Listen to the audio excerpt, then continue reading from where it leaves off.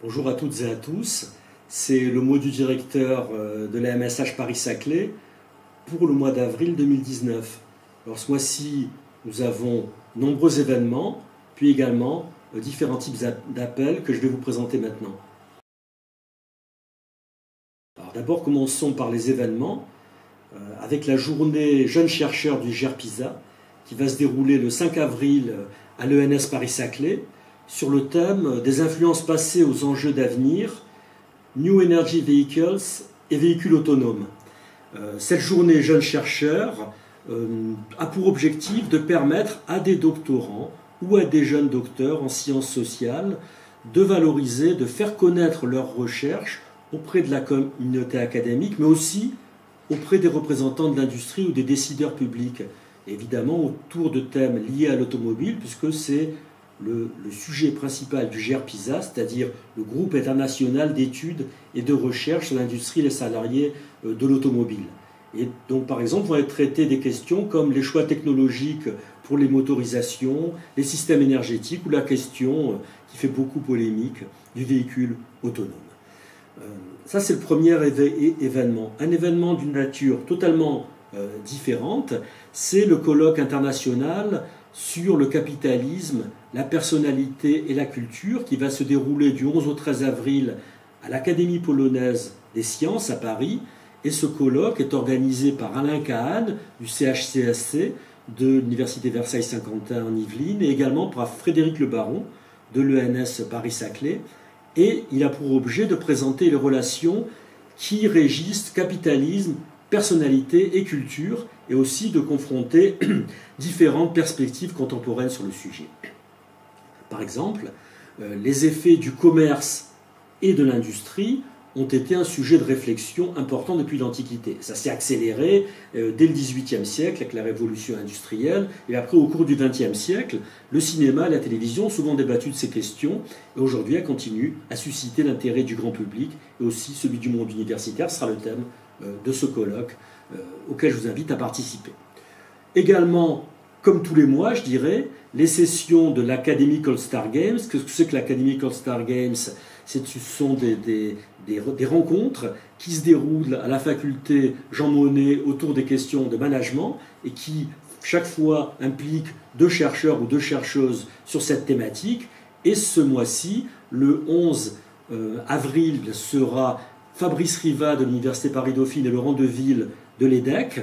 Et puis le 18, la semaine suivante, Philippe Baumard du CNARM et Jean-François Lemoine de l'Université Paris 1 Panthéon-Sorbonne qui discuteront de leur point de vue sur, ces questions. Même chose sur euh, une activité qui revient très régulièrement, c'est celle des petits déjeuners d'Urkheim que la MSH soutient.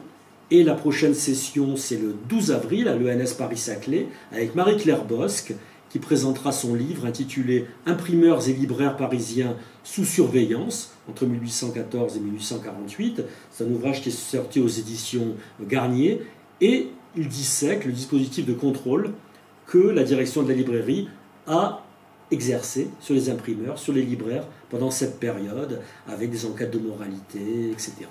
Et le, discutant de cette session, qui est animé par Florent Lebeau, Florent Lebeau qui est l'âme du séminaire euh, euh, des, petits déjeuners d'Urkheim, eh le discutant sera Jean-Charles Guélo de l'UVSQ. Autre séminaire régulier chez nous, c'est le séminaire Monde et genre carcéral, que nous soutenons depuis plusieurs sessions, et qui, la prochaine euh, séance, c'est le 15 avril à l'ENS, avec Valérie Icard, du CESDIP, qui va intervenir sur le thème Domestiquer les hommes les modules de respect dans les prisons espagnoles au prisme de la guerre. Alors, il s'agit de réfléchir sur les modules de respect espagnols. Ce sont que les modules de respect eh bien, sont un régime de détention euh, spécifique qui n'est pas, qui n'est pas spécial à l'Espagne et qui repose sur l'idée du volontariat, sur un système de punition-récompense. L'objectif, c'est de favoriser euh, la responsabilité, la responsabilisation des personnes qui sont détenues. Ce régime de euh, détention. Il a parfois été euh, conçu, compris comme un instrument de redomestication des détenus, en particulier des femmes, et en permettant de renforcer le contrôle le traitement de ces femmes détenues dans les prisons espagnoles. Donc voilà le thème du jour.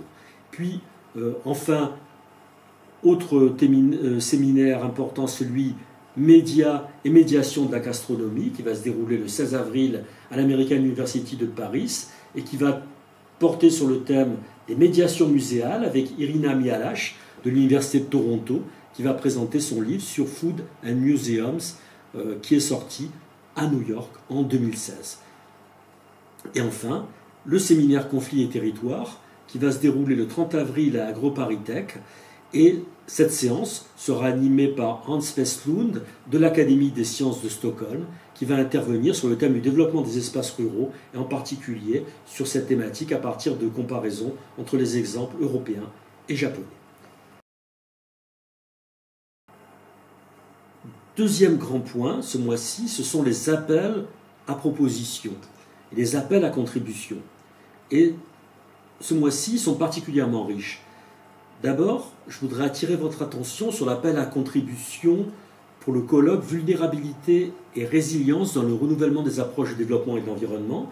Il s'agit d'un colloque qui est soutenu et qui est labellisé par la MSH Paris-Saclay et qui est organisé par le CEMOTEV de l'Université Versailles-Saint-Quentin en Yvelines et son partenaire de l'UAMI Résilience de l'IRD.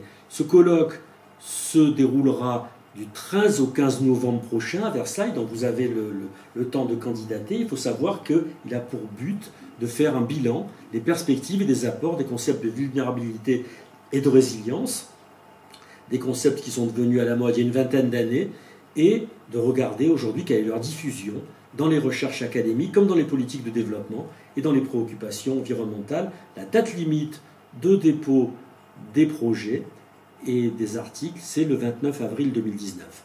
Autre appel extrêmement intéressant, c'est l'appel d'offres euh, ANR Flash sur euh, Science ouverte. Alors il faut savoir que l'ANR s'est récemment doté euh, d'un outil spécifique. Cet outil spécifique, ce sont les appels Flash. Comme leur nom l'indique, il s'agit d'un dispositif accéléré qui permet de sélectionner et de financer des projets dans un délai court, environ 4 mois, et euh, ceci sans déroger pour autant au principe euh, de base de l'ANR avec des projets compétitifs, une évaluation par des pairs, etc. L'objectif, le thème de cet appel d'offres, c'est la science ouverte et plus particulièrement la thématique des données, de leur ouverture, de leur partage, de leur conservation, de leur interopérabilité et euh, c'est une thématique qui est finalement rarement euh, financée par des appels d'offres liés aux agences de financement, parce que cette thématique de la science ouverte, on la considère souvent plus comme une pratique scientifique que comme une discipline. La date limite de euh, réponse, c'est le 27 mai 2019. Et enfin, pour terminer, n'oubliez surtout pas les appels à projets, les appels de la MSH Paris-Saclay, qu'il s'agisse des séminaires, des workshops ou des appels à projets émergence et maturation. Et tous les formulaires de candidature sont sur notre site. Et la date limite de réponse, c'est le 15 mai 2019. Donc euh, elle se rapproche beaucoup. Et il faut maintenant y travailler. On compte sur vous pour avoir de nombreuses candidatures dans ce cadre. Et donc je vous souhaite un très bon mois de travail et je vous dis bientôt pour de nouvelles aventures.